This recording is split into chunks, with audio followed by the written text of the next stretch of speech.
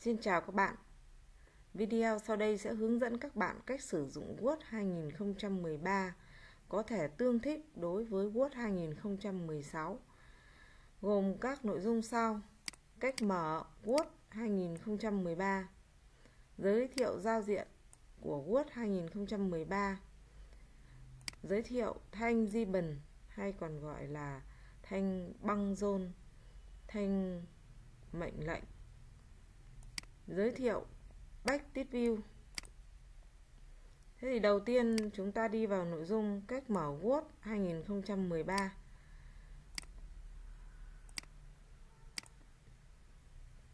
Thế thì khi các bạn khởi động máy tính bắt đầu để chuẩn bị làm việc, thì bạn sẽ dừng lại màn hình desktop. Đây được gọi là màn hình desktop. Trên màn hình desktop, nếu máy tính bạn đã cài Office 2013 các bạn sẽ thấy biểu tượng của Word 2013 thế ở trong máy thì ở trong màn hình này thì chúng ta đã cài Office 2013 và biểu tượng của Office 2000 Word Excel 2013 nằm ngay, ngay trên thanh Start. Đây chính là Word 2013. Còn đây là Excel 2013. Có một số máy tính các bạn cài thì nó chưa đưa các cái biểu tượng uh, của ứng dụng ra ngoài thanh Start. Nếu bạn nhìn thấy biểu tượng uh, Word 2013 thì bạn kích vào thì có thể để chúng ta chỉ kích đơn để nó mở nó sẽ mở cửa sổ của Word 2013 ra Đấy, và bạn uh, chọn một tệp mới bạn kích vào blank còn bạn uh, sử dụng các mẫu có sẵn thì bạn kích vào mẫu. Sau đó, nó sẽ mở cho các bạn giao diện của Word thành môi trường làm việc. Còn nếu các bạn không nhìn thấy biểu tượng của Word 2013 thì các bạn kích vào biểu tượng Start. Đây là biểu tượng Start. Các bạn sẽ nhìn thấy Word 2013 ở đây. Và nếu nó không đưa ra ngoài à, bên ngoài thì các bạn à, kích chuột phải. Để bạn kích vào. Và bạn cuộn xuống. Đấy, bạn cuộn bên dưới. Bạn nhìn thấy ờ, cái thư mục Microsoft Office 2013 bạn mở chi tiết ra. Bạn sẽ nhìn thấy Word 2013 bạn kích vào. Đấy. thì chúng ta thấy nó cũng bật ứng dụng của Word lên. Thế thì chúng ta đã biết cách để mở cửa sổ Word 2013 Đấy, còn à, nếu như bạn nào không biết à, sử tức là chúng ta chưa cài à, Word 2013 thì chúng ta à, có thể um, lên trên mạng xem cách hướng dẫn và tải phần mềm của Word 2013 cài vào máy tính để chúng ta có thể học được môn học, tin học, văn phòng.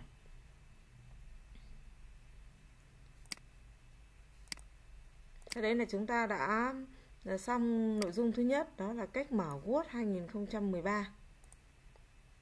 Bây giờ chúng ta sang nội dung thứ hai là giới thiệu giao diện của Word 2013. Thế thì ờ, như các bạn biết, đây chính là giao diện của Word 2013. À, à, ở đây mình đưa ra cả cái hình chụp để các bạn ờ, không kịp nghe thì các bạn cũng có thể nhìn để biết vị trí của các thành phần trong cửa sổ Word 2013. Thứ nhất, đây chính là Quick Access Toolbar. Đây các bạn nhìn thấy đây là Quick Access Toolbar đưa ra các thành phần uh, hay sử dụng nhất thường xuyên nhất ví dụ như saver undo redo chọn một chọn để mở một tab word mới. Hoặc ừ, còn rất nhiều các cái thành phần truy cập nhanh như là open email quick bring bring preview and bring spelling and grammar hoặc draw table table Touch, Mount Mode thì à, đây là những ừ, thành phần người ta gọi là Quick Access tức là chúng ta có thể truy cập nhanh. Những cái nào được tích nghĩa là các thành phần đó đã được đưa ra. Bạn không muốn đưa ra thì bạn kích vào để bỏ tích đi thì chúng ta thấy biến mất cái saver. Đấy, chúng ta muốn đưa lại thì ta chọn ta muốn đưa cái bring preview and bring Đấy, thì các bạn sẽ thấy nó xuất hiện ra ở đây. Đấy, khi bạn kích print, thì, uh, kích vào cái biểu tượng à, uh, print preview thì nó cho các bạn xem trước chế độ in. Thì đấy là thành phần gọi là quick access toolbar. Thành phần đầu tiên trong Word phía trên cùng trong Word đó chính là thanh tiêu đề. Thanh tiêu đề sẽ chứa tên ứng dụng. Tất cả các cửa sổ uh, Ờ, trên Windows thì ờ, đều có thanh tiêu đề.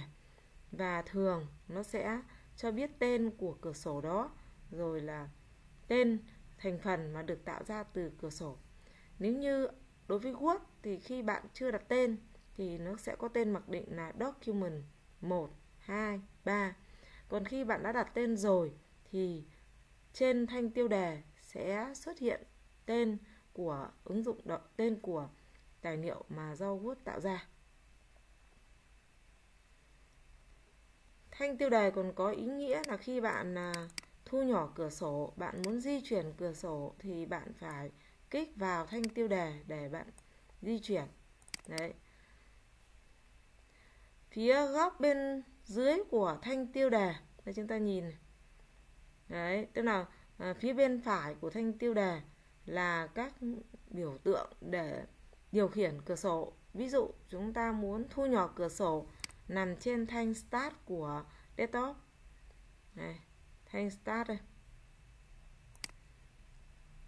Trường hợp thứ hai là chúng ta muốn uh, zoom cửa sổ ở mức độ vừa phải. Đây là zoom cửa sổ ở mức độ vừa phải. Để chúng ta phóng to ra này. Đấy, tên của cái nút này nó vừa nó có tên là gì mắc simai còn đây là minimize và nút cuối cùng chính là nút close bạn kích vào sẽ đóng cửa sổ lại. Ngoài ra thì bên cạnh, ở trong biểu tượng này không đưa nhưng có một cái nút rất quan trọng, đó là ribbon display option. Tức là tùy chọn hiển thị thanh ribbon. Thì đây chúng ta có thanh ribbon ở đây. Ngay cả cái thanh này gọi là thanh ribbon chúng ta kích vào. Chúng ta có thể ẩn nó đi. Đấy các bạn nhìn thấy ẩn hết đi. Nó ẩn thanh ribbon đi. Bạn muốn nó xuất hiện thì bạn chỉ cần kích ở phía trên này. Đây cái có khi bạn đưa con trỏ vào nó có nhấp nháy này. Nó xuất hiện. Đấy còn nếu như bạn muốn à, nó ẩn đi bạn lại kích ra khỏi thì nó lại ẩn đi. Đấy xuất hiện ẩn đi. Thì người ta gọi là auto auto hide tức là tự động ẩn. Đấy còn bạn muốn nó lại xuất hiện trở lại thì nó có cái tính năng thứ hai. Đó là gì? Chỉ sâu các tab đấy, nên là các ribbon này nó có một cái đầu tên là tab đấy, mỗi cái nó có một cái điểm tab này. Tab home thì đây là thanh thanh ribbon của tab home chứa các cái biểu tượng, mệnh lệnh chính của Word tab insert chứa các biểu tượng chèn thêm. Tab design chứa tab design chứa các thành phần liên quan đến thiết kế tài liệu. Tab page layout chứa các thành phần thiết lập uh, cho nền uh, à, cho cho trang giấy. Và tab reference là thiết lập các cái thành phần liên quan đến tham chiếu hoặc là mục lục điện tử. Tab mailing là liên quan đến chèn trộn thư tab review là liên quan đến bình luận bình phẩm kiểm tra chính tả chèn bình luận hoặc là hạn chế uh, tài liệu. Tab view là liên quan đến chế độ hiển thị các chế độ hiển thị các chế độ phóng to thu nhỏ hoặc chia cửa sổ. Và cái tab cuối cùng là developer là dành cho các nhà phát triển um, nâng cao.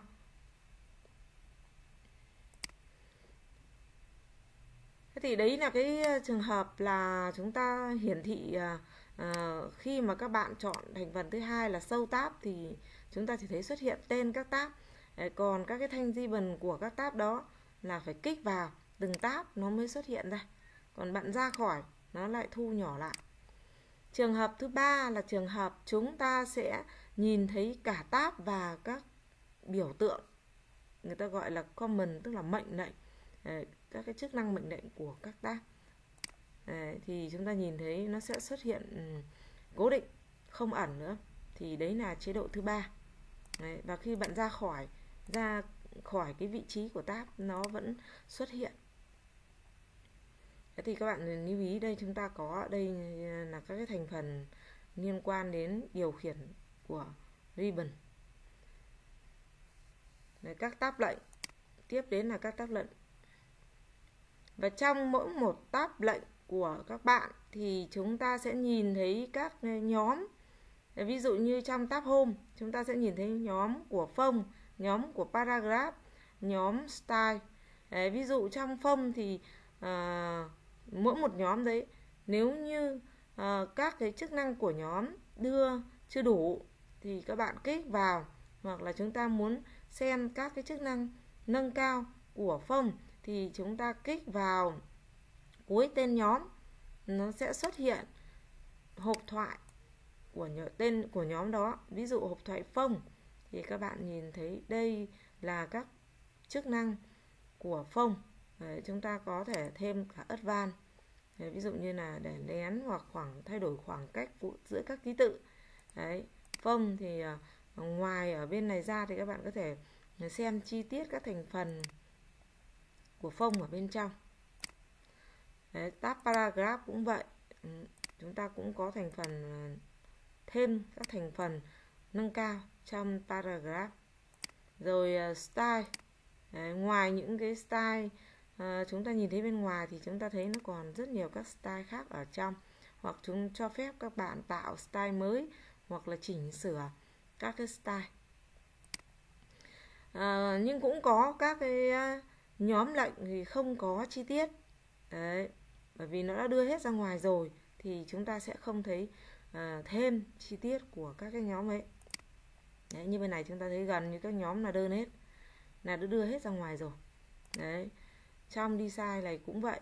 Đấy, trong page layout thì đây có, có paragraph có page setup có reference cũng vậy có trong footnote.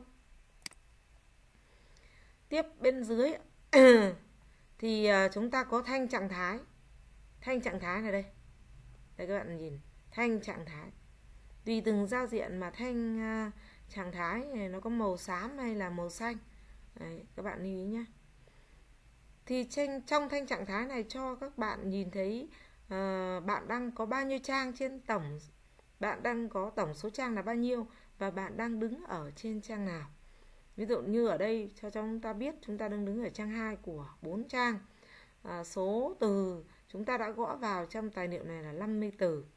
Chế độ của chúng ta là chế độ tiếng Anh. Và phía bên dưới của nó sẽ là gì? Là ba chế độ hiển thị. Đấy có thanh cuộn trái thanh cuộn uh, cuộn zoom đấy các bạn để các bạn phóng to thu nhỏ các cái zoom này. Tức là các cái chế độ tỷ lệ hiển thị của cửa sổ. Đấy thì đây chính là thanh trạng thái. Tiếp đến là chúng ta có thanh cuộn. Đây là thanh cuộn, các bạn nhé. Thanh cuộn. Thanh cuộn này cho các bạn là để nhìn thấy các vùng khác của tài liệu. Cuộn, thanh cuộn này thường thì nó có hai cuộn là cuộn ngang và cuộn dọc. Nếu như bạn đã nhìn thấy phần ngang thì thanh cuộn ngang biến mất. Ví dụ, chúng ta phóng to tài liệu như này, thì chúng ta sẽ thấy thanh cuộn ngang này. Đấy, thanh cuộn ngang xuất hiện. Nhưng khi bạn đã thu mà nhìn thấy đủ lề trái lề phải rồi thì thanh cuộn ngang biến mất. Đấy còn đây là thanh cuộn dọc.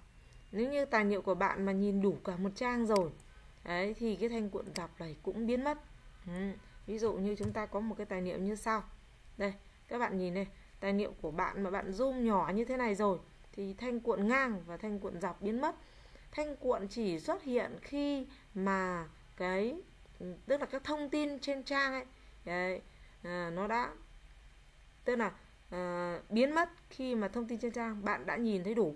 Còn xuất hiện khi mà thông tin trên trang một số vùng bị khuất. Đấy, như vùng này của chúng ta là à, nó khuất ừ, một số vùng bên dưới thì người ta chúng ta thấy ứng dụng tự động xuất hiện cho chúng ta thành cuộn. Cuối cùng của chúng ta là vùng làm việc. Đấy, vùng làm việc đây. Đấy, chính là trang một trang văn bản trắng tinh để các bạn soạn thảo nội dung Đấy. Các, một tài liệu chúng ta có thể một trang hay nhiều trang cũng đến hàng nghìn trang Đấy. À, chúng ta tùy biến theo từng tài liệu để chúng ta sẽ soạn thảo số trang của tài liệu thế thì chúng ta đã đi xong cái phần nội dung thứ hai đó là môi trường làm việc của Word thế các bạn nhấn mạnh lại trong nội dung của phần này của chúng ta gồm có thứ nhất chúng ta biết thế nào là quick access thứ hai là thanh tiêu bề tiêu đề thứ ba là các cái vùng điều khiển cửa sổ và điều khiển ẩn hiện các di bần đấy nhá. Tiếp đến là um, thanh trạng thái thanh trạng thái này các tab lệnh này các uh, nhóm lệnh này thanh cuộn ngang và thanh cuộn dọc cuối cùng là vùng làm việc. Chúng ta đã xong nội dung thứ hai. Tiếp đến chúng ta đi vào chi tiết của nội dung thứ ba, đó là thanh ribbon thanh ribbon thì đã nói ở trên qua rồi, nhưng cũng cần chi tiết hơn lại để các bạn nắm được. Thanh ribbon của các bạn, đây chính là một thanh di bần ờ, của nhóm tab home đấy và người ta gọi tên của mỗi nhóm này là thẻ. Đấy. thanh thứ hai là thanh insert. Hay còn gọi là thẻ insert. Và khi bạn kích vào sẽ xuất hiện toàn bộ các thành phần mệnh lệnh của insert. Đấy, thanh đi design này thanh page layout này thanh reference thanh mailings review thanh view. Đó thế thì trong một cái thanh như này thì các bạn sẽ nhìn thấy có những thành phần nó chỉ có một chức năng nhưng có những thành phần nó có nhiều chức năng con bên trong. Ví dụ như ở cái thanh a a a lớn hay còn gọi là uh, mệnh lệnh change case thì trong change case các bạn thấy nó có một mũi tên nhỏ bên cạnh để cho bạn biết rằng bên trong còn có nhiều tùy chọn khác. Đấy, ví dụ như chúng ta có thay đổi chữ đầu tiên viết hoa tất cả viết thường tất cả viết hoa các ký tự đầu tiên của từ viết hoa hoặc các ký tự đầu tiên của từ viết thường các thành phần còn lại viết hoa. Đấy, hoặc là trong cái um, um, text effect này cũng vậy các bạn kích vào nó sẽ ra chi tiết. Đấy, người ta gọi là các mũi tên sổ xuống.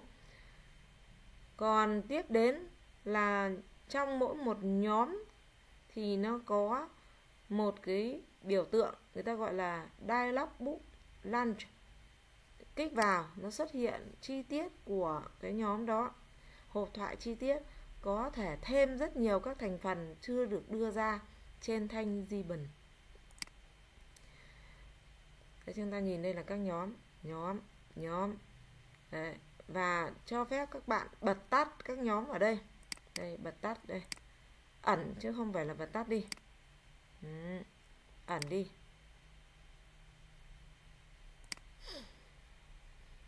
thế thì trong các tab này các bạn lưu ý chúng ta cũng có thể um, tắt hoặc thêm các tab tắt hoặc thêm các tab Đấy. hay là các cái ribbon tắt ở đây chúng ta vào file. Chúng ta chọn option. Trong option, các bạn sẽ nhìn thấy một cái nhóm chức năng đó là gì? Customize ribbon. Customize ribbon. Khi kích vào, các bạn sẽ nhìn thấy tất cả các tab chính. Đây các tab chính của các bạn cái nào đã được tích có nghĩa là đã được đưa ra ở bên ngoài. Ví dụ bạn không muốn đưa ra tab developer. Đấy. các bạn không muốn đưa ra tab reference. Ok bạn chọn hai bỏ tích hai tab đó đi. Sau đó bạn kích ok bạn thấy hai tab đấy biến mất. Đấy đây là chúng ta tắt Đấy, tắt các cái tab ấy đi. Kia là ẩn hoặc hiện. Thế thì chúng ta lại vào tiếp các bạn cũng có thể tắt hết để một, hai tab thôi. Rồi. Đấy, các bạn nhìn này, còn lại chúng ta chỉ còn có 4 tab. Đấy, các bạn lại kích vào. Các bạn lại làm nó xuất hiện. Đấy, bạn này làm nó xuất hiện. Rồi, các bạn nhìn thấy nó lại xuất hiện. Các bạn cũng có thể tạo một tab riêng cho mình bằng cách các bạn vào customize ribbon các bạn kích vào new tab. New tab. Trong new tab này các bạn kích chọn rename đổi tên uh, tab của tôi.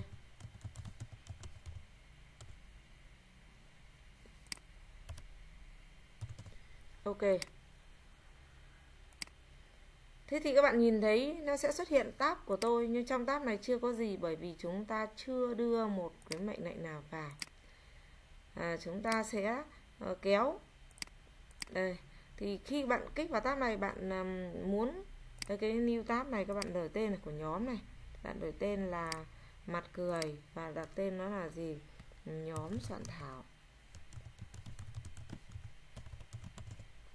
Ok ví dụ chúng ta chèn vào là copy này là cắt này. Đấy là delete này. Delete. Draw table đấy bạn thêm vào bốn cái. Ok. Thế thì bây giờ chúng ta nhìn thấy là trong tác của các bạn nó có những thành phần này. Ví dụ bạn bôi đen này bạn copy này xong bạn lại paste nó ra. À để chúng ta lại không có nút paste. Đấy, bạn cắt nó đi này bếp thì bạn vào hôm có nếu bạn muốn thì bạn đưa ra vào đây. Đấy, bạn tạo được thì bạn có thể xóa được lại vào bạn kích vào bạn có thể bỏ nó đi để sử dụng lại. Còn nếu bạn không muốn bỏ đi thì bạn tích vào và bạn kích remove đấy, thì nó đưa sang bên này. Không biết là nó đưa nó, nó xóa đi hay là nó để new ở đây cho các bạn. Không thấy new bởi vì cái tab của bạn là cái tab mà không phải do ứng dụng tạo ra. Ok. Thế thì chúng ta đã à, nắm được cái thành thanh ribbon. Đấy, để chúng ta hiểu được cách à, sử dụng này cách thêm vào và cách ẩn các cái tab đó đi. Chúng ta đã xong nội dung thứ ba. Bây giờ sang nội dung thứ tư tức là giao diện backstage view thế thì giao diện backstage view là gì? Là giao diện cho phép các bạn xem được các cái chức năng nâng cao à, của Word 2003 thường thì các bạn nhìn thấy cái tab đấy ở file. Nên là cái giao diện backstage view ở file. Đấy nó rất đặc trưng. Các cái phiên bản cũ thì nó không có tab này. Từ phiên bản à, 2010 trở về trước thì chúng ta không à, có nhưng mà à, nó không ghi là file mà nó thành một biểu tượng như là cửa sổ bốn cánh à, ô của Word. Còn từ phiên bản 2013 à, trở về đây ấy, thì à 2000 2007 thì không có 2010 trở đi thì à, chúng ta sẽ nhìn thấy cái này. Thì đây là giao diện của tab giao diện backstage view. Trong giao diện này thì phía bên trái là cái là các cái chức năng liên quan đến như là mở cửa sổ Word mới mở Word đã tồn tại ờ, save, tức là lưu, để đặt tên ờ, save e là đổi tên, in ấn, chia sẻ ờ, xuất bản, đóng, hoặc là các cái tài khoản tùy chọn. Ở giữa thì mỗi một cái nó có tùy từng trường hợp khác nhau, ví dụ như print thì ở đây nó sẽ cho các bạn là thiết lập các chế độ in. Còn nếu là info thì ở đây sẽ cho các bạn là, là thêm các thành phần như là bảo vệ tài liệu đấy, điều tra um, tài liệu và xem các cái phiên bản hoặc là cái việc lưu trữ trong thời gian gần đây đã được tự động lưu như thế nào. Đấy. còn phía bên phải của các bạn là các cái đặc các cái thuộc tính của tài liệu. Ví dụ như là kích cỡ của tài liệu có bao nhiêu trang bao nhiêu từ tổng thời gian được thiết lập tiêu đề tab comment tác giả. Đây ví dụ author là tác giả. Bạn có thể chèn các thành phần này vào. Để trong rất nhiều bài người ta sẽ yêu cầu các bạn điền thông tin của property này. Đấy, ví dụ như đây là tin học văn phòng các bạn có thể chèn thêm vào. Đấy, các bạn có thể xem nhiều hơn các thành phần này. Ở đây hoặc là chúng ta vào ờ, property chúng ta chọn advanced property. Và trong advanced property thì chúng ta có uh, summary các bạn chèn các thành phần đấy. Khi bạn chèn đấy, đây là thuộc thuộc chủ thể gì? Ờ, chủ thể tin học. Ok đấy thì nó cũng sẽ chèn ra bên ngoài cho các bạn. Thế thì đây là cái nội dung của bài hướng dẫn giới thiệu về giao diện. Ờ, các cái nội dung khác các bạn sẽ xem tiếp trong các video tiếp theo.